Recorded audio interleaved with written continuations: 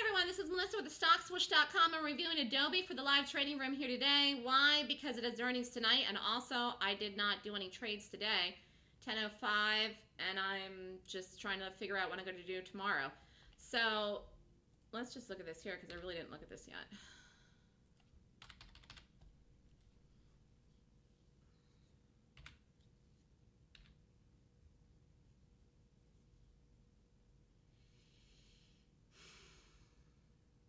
Well, I said the same thing last week. Was it last week or the week before? It was about Lulu. You know, Adobe should be in play. I, Adobe should be in play tonight on the earnings, whether it gaps up or down. But I said the same thing about Lulu, and Lulu ended up being a bust. And it didn't end up working out right in the gap until like five seconds before the open. So then I never did anything with it. It was Lulu, wasn't it? Yeah.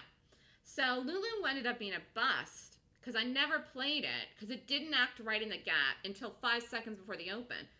Adobe isn't going to do that because it's going to gap tonight. So Adobe has earnings out tonight, which I do believe whatever it does should hold through the morning open. I just am seeing this here now, though, like the way that I saw the Lulu, meaning that this is in play. Like if if Adobe gaps up, it should be a nice buy.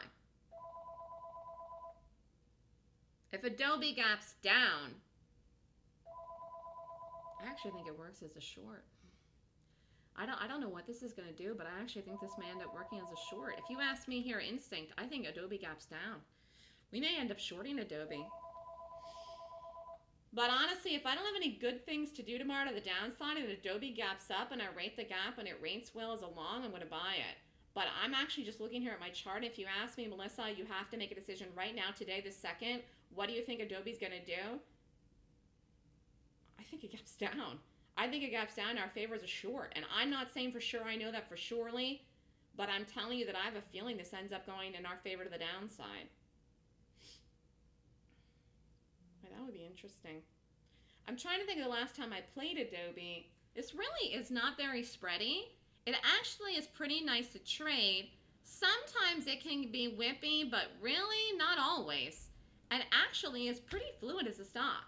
And I have a feeling that this could gap down. Again, if it gaps up, I'll rate it as a long if I have no good shorts. And I'll play a long if it's a good bullish gap. I won't know till it gaps. And I won't know until I see where it actually gaps, if it gaps up. If it gaps down, I'm still going to rate it. I will rate it then as a short gap but I have a feeling this could gap down, and I'm a little surprised here myself. But just looking at the market and the discussion we just had about the market, I did call the market long today.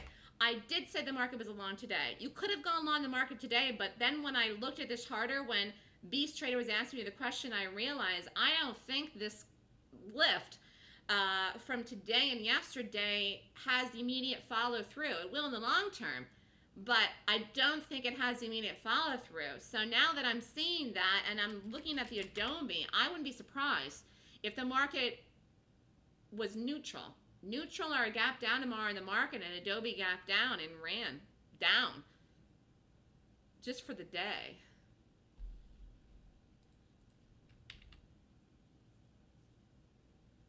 This could even gap down tonight to $74. And I'm not saying it definitely does. I'm not saying 100% conviction, and I'm not saying no chance of failure. I'm saying if you back me up into a corner and said pick a direction for the earnings on this, I'm going to say down. And even I am surprised. But I'm just, I'm just, this is my instinct. If it gaps up, I'll rate it as a bullish play. If it gaps down, I'll rate it as a bearish gap. It still has to rate good for me to short it. But quite frankly, I'm telling you right now, if this gaps down, it is going to be a good short it'll almost be a good short no matter where it gaps, actually. But the quality of the reading, as far as if it's 20, 21, 22, 23, 24, 25, whatever, is going to depend on how aggressive I play with this. Because this, this, whatever it does, will have a tremendous amount of volume tonight and tomorrow morning. At, like when we get out of bed tomorrow, if Adobe is gapping down, it'll have 4 million people in it before the open and then you better know what you're doing. I mean, you better know what you're doing. I mean, you have to know what you're doing to trade in something like that in the open. We can't, you know, this is why, like when we did the Michael Kors, I mean, you you short something into the open with that kind of volume in it in the pre-market, you better know what the heck you're doing. You better know what you're doing if you're short on a, uh, immediately. You better know what you're doing if you short on a rally. You you better know the numbers on doing something like that with that kind of volume. Are you really just? I mean, you you better know what you're doing. So I will have to very be very very focused. In fact, I might even write this tonight. In fact, I think I will. I think I will write this tonight. I don't have anything to do today. I didn't trade today, so it's not like my brain is tired right now. I think I'm going to rate Adobe tonight. We'll see what it does. Uh, you just sold more than half of your Netflix. You mean you went long Netflix on my call on this? All right. Okay. I didn't know anybody did that, but apparently New Jersey Trader did buy my call on Netflix. Good job.